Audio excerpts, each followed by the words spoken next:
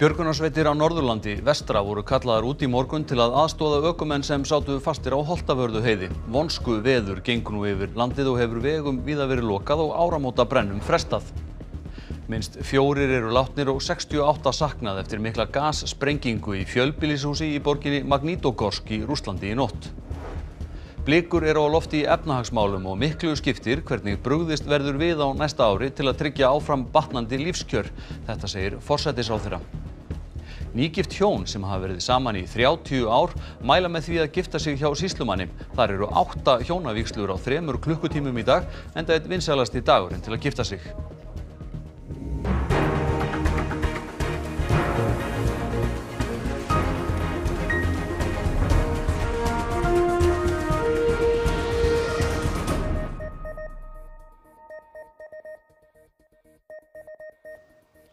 Komið í sæl. Veður hefur verið með versta móti í morgun og er víða þungfært. Holtavörðu heiði var lokað og einnig þjóðvegi eitt á Skeiðarórsandi og í Örafasveit. Á Östurlandi hefur áramóta brennum verið frestað fram á nýjársdag. Björgunarsveitir á Norðurlandi vestra og Vesturlandi voru kallar út í morgun til aðstóðu ökumenn sem sátu fastir í tveimur bílum á Holtavörðu heiði. Í öðrum bílnum voru sjöfarþegar þar af fjögur börn. Þar geisaði stórhríð og gul viðvörun í gildi Vonsku veður gengur nú yfir landið og var þjóðvegi eitt á skeiðar á sandi og í Örafasveit lokað klukkan 11. Þar er búist við að vindur geti náð alltaf 50 metrum á sekundu í vestu kviðum. Á vesturlandi og vestfjörðum er víða þungvart og þá er lokað yfir Þverárfjall og Öksnadalsheiði. Flugvila á vegum bresku ferðarskriðstofuna Superbreak sem átt að lenda á Akureyri þurfti að lenda á eigilstöðum rétt fyrir hádegi. Vélinn var að koma frá Leeds á Englandi en reynd verður að fljúa til Akureyrar síðar í dag. Nokkur röskun hefur orðið á innanlandsflugi og var flugi Air Iceland Connect frá Reykjavík til Ísafjörðar aflist í morgun vegna veðurs. Á Östurlandi hefur áramótabrennum og flugveldasýningum verið frestað, meðal annars á eigilstöðum í Breiðdal og á Stöðvarfyrði, en þar er búist við vestandi veðri og norðan stórhrið þegar líður á daginn. Verið er að meta stöðuna á öðrum stöðum og er fólk beðum að fylgjast með tilkynningum á vefsíðum sveitarfélag og björgunarsveita. Já eins og sjáum að það er ágætis veður á höfuborgarsvæðinu núna og það er vonandi að það haldist eitthvað en hjá mér er Birta Líf Kristinsdóttir veðurfræðingur. Birta, hvernig er eh, veður útlitið? Já það er bara ágætt fyrir kvöldi, sérstaklega á vestanverðu landina. Það eru frekar hægur vindur og léttskjað og kallt. Það er nú þegar farið að kólna og mun kólna ennþá frekar, frostum allt land í kvöld og herðir ennþá frekar á frosti í nótt. Þannig um að gera klæðið sér vel. Það er spáð vonsku veðri á austanverðu landinu. Já, það er núna norðan stórrið á norðaustanverðurlandinu og það er að já, ná hámarki á þannig allra austast á austfjörðum. Það er bæði snjókoma á 20 til 28 metrar á sekundu en söður á vatnajökli á söðausturlandi þar er einnig spáð alveg 20 til 28 metrum á sekundu og hviður alveg upp í 40-50 metra á sekundu til kvölds. Þannig það er um að gera að fara varlega þar og það er svo sem engin snjókoma þar heldur. En, en uh, þannig að það má segja að það sé ekkit ferðaveður? Nei, það er lítið ferðaveður á austanverðu landinu, svona allavega núna næstu klukkutímana, alls ekkert á suðaustanverðu landinu núna fram til kvölds. En hérna í kvöld þá er nú búist við að verði um norðan 8-15 metrar sekund upp úr miðnætti að verði þurft aðna austanlands. Uh, hvernig viðra til að, já, flugöldarsýninga? Það er alveg, við erum bara mjög vel og það má kannski segja að við erum of vel eins og hérna í Reykjavík að það verði það hægur vindur að það gæti orðið já, mikil mengun, hún dreifist illa og það gæti orðið lélitt skikni á tímabili þar sem að verður þykkur reykjarmakkur yfir borginni, jafnvel, það er svona útlitt fyrir það. Takk kærlega fyrir það. Við látum þessu lokið hérna frá Veðurstofu Íslands. Takk fyrir þetta, Höskuldur Kári. Öflug gassprenging varð í fjölbýlishúsi í borginni Magnítogorsk í Rúslandi í nótt. Minnst fjórir létust en óttast er að tugir séu grafnir undir rústónum. Magnítogorsk er 400.000 manna borg í úralfjöllum á mörkum Evrópu og Asíu. Þar er yðnaður í aðhlutverki og mesta járn og stál framlegsla landsins. Talið er að um 120 hafi búið í þeim hluta húsins sem eidilaðist í sprengingunni sem varðum klukkan eitt í nótt að íslenskum tíma. Gasleika var vart á fyrstu hæðinni og skömmu síðar var mikil sprenging sem leiti til þess að hluti húsins hrundi. Björgunarstörf hófust snemma í morgun og björgunarmenn vinna nú í kappi við tíman því það er bruna gattur í borginni, tæplega 20 gráðu frost. Fjórir fundust látnir í morgun og hverfandi líkur eru taldar á því að fólk finnist á lífi í rústunum. Það er tekið að hægast á hagvexti hér á landi og blikur er á lofti í efnahagsmálum. Þetta segir forsættisáþurra. Fjármálar áþurra segir að næsta ár snúist um hvort byggður verði grunnur fyrir framtíðina eða hvort bátnum verði ruggað í ósætti. Það gustaðum ráðherra ríkistjórnarinnar í morgun þegar þeir komið til ríkisráðsfundar á Bessastöðum. Ríkisráð kemur alltaf saman á gamlástag og í því setja ráðherrar og fósetti Íslands. Já, ég á nú vona því að hann verði með hefbundum hætti. Það er að segja snúist fyrst og fremst um endur staðfestingu laga uh, sem eru hér lesin upp með mjög formförstum hætti. Nú er þetta ára líða, hvað finnst þið standa upp úr? Í þetta hefur mörguleiti verið gott ár til ég vera fyrir Íslands samfélag en auðvitað sjáum við bæði blíkur og lótti í efnaðasmálum, við sjáum uh, teiknum það að það er að hægjast á vexti í hagkerfinu og það skiptir miklu máli hvernig við bregðumst við á næstu missurum til þess að tryggja áframhaldandi lífskjárabata þannig að það var nú kannski verið svona stóru tíðindin árinu hér heima. Já, hér var myndur ríkistjórn til þess að koma stöðuleika á stjórnmálinn og mér finnst það að hafi tekist vel og að þessir þrýr stjórnarflokkar hafi náð utanum þessi mikilvægustu verkefni og komið þeim í farveg. Þetta finnst mér standa upp úr á vettvangi stjórnmálana. Hver verða stóru málinn árið 2019? Ég held að auðvitað vinnumarkasmálinn verða ábyrgandi framann árinu en ef ég á nefna líka mál sem ég held að verði stór ekki bara árinu 2019 heldur framöndan þá eru þetta loslasmálinn. Það skiptir miklu að við vorum að kynna nýja aðgerða állun og ég á vona því að við sjáum svona fyrstu ávextin af henni byrtast árinu 2019. Það eru tæknibreitingarnar og það skiptir miklu mál að við förum að setja okkur skýra sínum það hvernig Íslands samfélag ætlar að takast yfir þær og svo held ég að heilbriðismálinn og líðhelsumálinn verði líka mjög stórt mál framöndan. Að köpa hljóða þetta? Er árið þar sem að mikið getur ráðist um það hvort að við e, komum í skjól þessu mikla árangri og, og byggjum nýjan grunninn í framtíðina eða eða hvort við ætlum að rugga bátnum uh, í ósætti og ég bind vonir við að við fáum góða niðurstöðu. Bandaríkjaher er ekki á förum frá Sýrlandi strax, segir öldungadeilda þingmaður republikana eftir að hafa reynd að tala um fyrir bandaríkjaforsetta í gerkvöld. Bandamenn bandaríkjana óttast að brottfurhersins valdi auknum óróa í Sýrlandi. Donald Trump tilkynnti um miðjan mánuðin að verki bandaríkjahers í Sýrlandi væri lokið og rúmlega 2000 hermenn væru á heimleið. Hann líst yfir sigri í stríðinu gegn samtökunum sem kenna sig við Íslamst ríki en fjölmarkir meðal annars hátsettir hersauðingjar og varnamálar á þeirran efuðustum hvortvekja, brottkvarf hersins og sigurinn gegn hriðverkasamtökunum. Kúrdar sem barist hafa við liðsmenn Íslamska ríkisins með stuðningi bandaríkjana óttast árásir Tyrkja og hafa leitað til sírlenska stjórnarhersins sem mætti þeim í borginni Manbíts fyrir helgi, trúlega til að verjast árásum Tyrkja. Lindsey Graham, öldungadeildar þingmaður republikana rætti við Trump í gerkvöld og segir að honum hafi tekist að tala um fyrir honum. Eigi skilið vernd. They stepped up when nobody else would and he's very aware of that problem. He's going to be talking to Turkey about assuring Turkey that they will have a buffer zone that they need given their concerns about the YPG Kurds. But the last thing in the world we want is a war between Turkey and the Kurds. That takes pressure off ISIS. And the last thing we want, in addition to that, is Iran to be the big winner here. Hópur Reykvíkinga hefur haft hann starfa síðustu daga að líta eftir timburhúum. Gæta þarf að því að óprútnir kveiki ekki áramótabrennum áður en bálið verður tendraði kvöld. Kristín Sigurðardóttir er á gesnefi þar sem einn stærsta áramótabrennan í Reykjavík verður haldinn.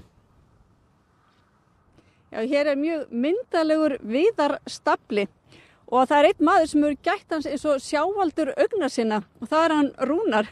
Rúnar gilda mjög stránga reglur um svona áramótabrennur. Já, hér gilda mjög stránga reglur og eru mjög nýlegar en, en, en gilda samt.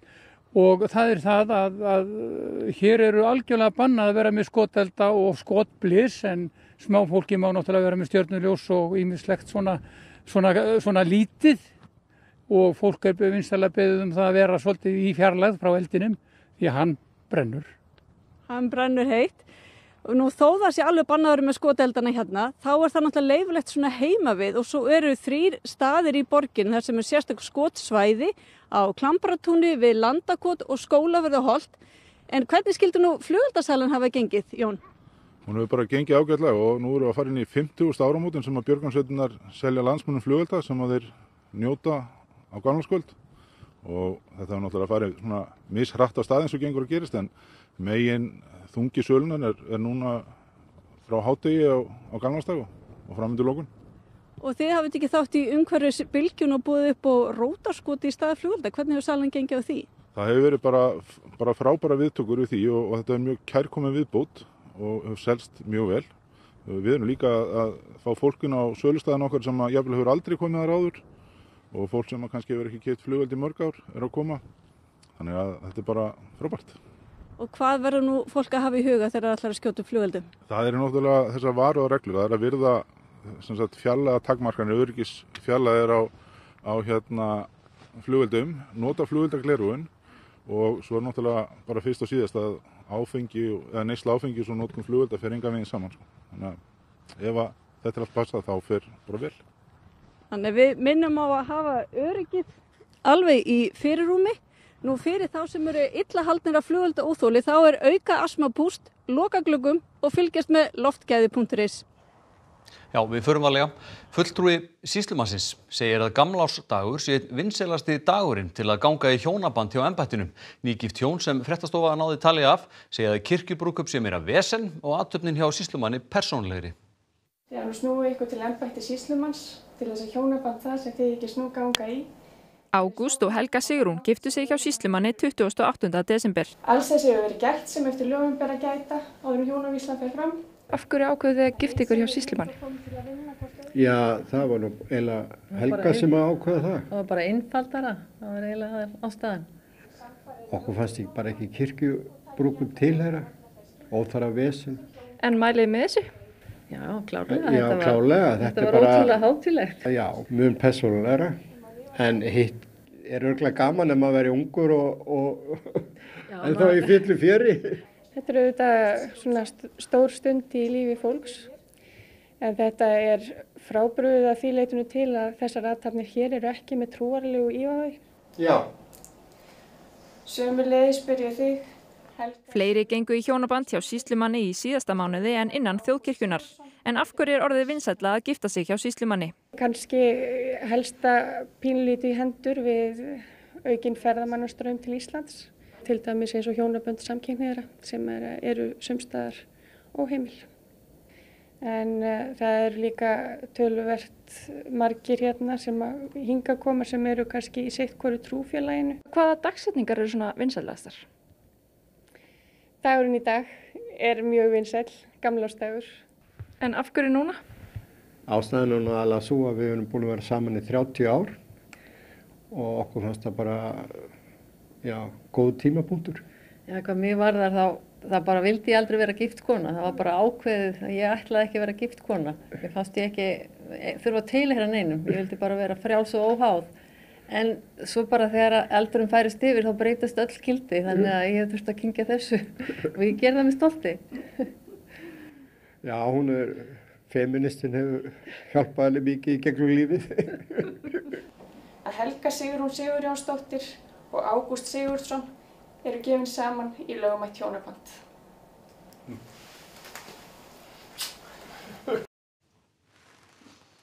Ofurhetjur, fangar og óvenjumargir jólasveinar hófu síðasta dag ársins á hlaupum eftir sæbröðinni í árlegu gamlás hlaupi IR. Þetta er uppskýra ársins, segir hlaupastjórin. Þrátt verið leiðenda veður hér í miðbæ Reykjavíkur þá er karnevalstæmning hér í og við hörpum. Þetta er í 43. sinn sem að gamláslaup í er er haldið og það var aldrei fleiri verið skráðið til leiks. Yes! Það er krakka mínu, bara drísum við til rólega heitu útökum með á aðstæðum. Þetta er svo skemmtileg hlaup. Það er bara frettist, búningar og gleði og gaman. Ha. Heldur að séu allir mættir í dag sem eru skráðið? Nei, ég held að það sé einhverju sem að sjá eftir því að hafa ekki lagt á stað. Einhverju sem að vöfnuði í myrkrinu og heyrði í vindunum og hættu við, en, en þeir eru bara að missa rosa skemmtum. Það er hellinga fólki mætt. Hvað er það við að hlaupa á gamláðsdag? Þetta er bara svo mikil uppskera. Fyrst var það náttúrulega bara hlauparnir sem mættu vittlisingarnir sem voru að keppa, en núna er þetta bara gleði og skemmtum. Gaman saman og, og bara fagna. Er alveg krúsjál að vera í búning á þessum degi? Jep, það er mjög skemmtilega. Þetta er til að hafa gaman. Já, hvað gerir það að vera í búning? Það er bara kirkið, innri maður kemur fram og maður getur sínt sig sem maður er. sitt rétta andlit og eðli. Nákvæmlega, það er bara þannig. Hvernig verður þetta hlaup? Það verður frábært. Besta hlaup, besta hlaupum við tinga til. Ég gerir ráð fyrir að þið þurfið að hlaupa hraðast í dag, er það ekki? Jó, ég held það. En við erum alltaf káar, þannig að við vinnum Undan alltaf.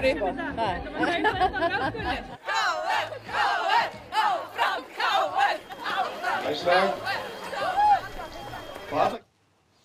Sýndarveruleiki auðveldar nú fólki að skoða hvernig miðbærin á djúbavogi kann að líta át í framtíðinni. Doktor í umhverfis sálfræði segir að þetta sé það sem koma skal í skipulagsvinnu sveitarfélagam. Í stað þess að rýna bara í loftmyndir og uppdrætti er hægt að skinja skipulagið.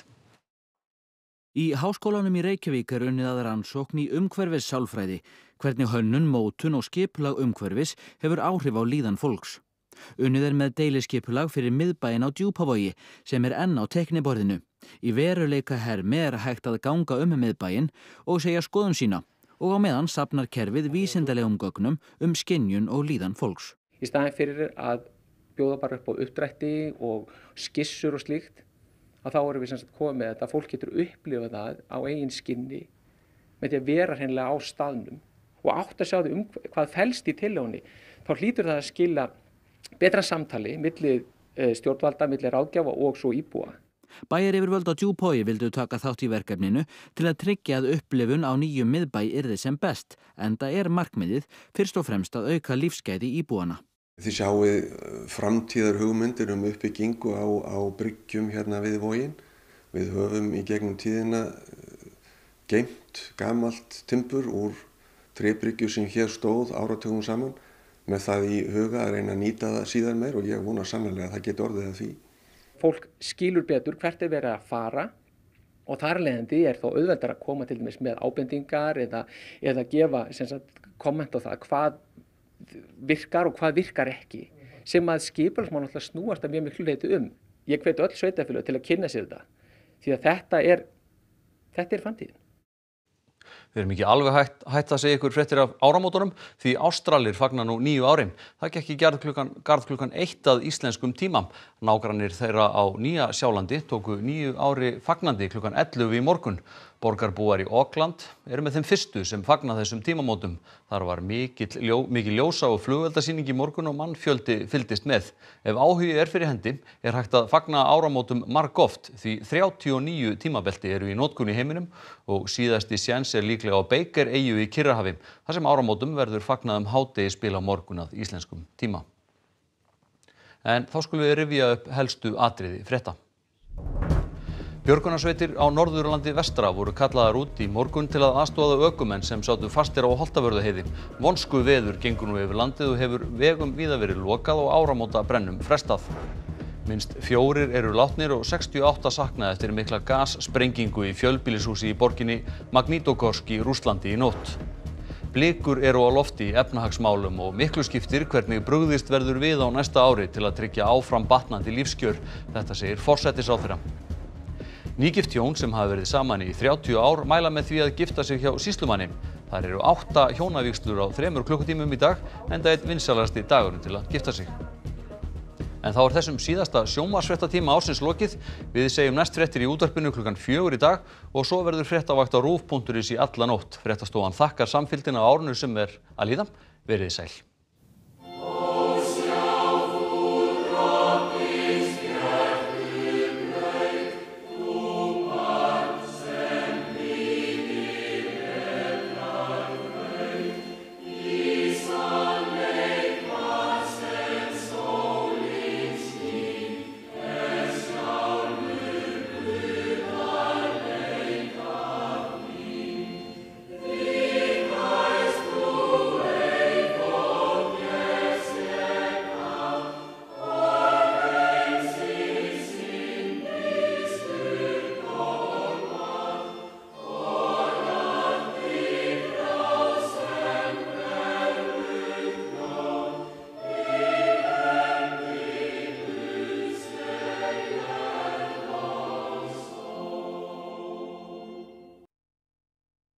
januar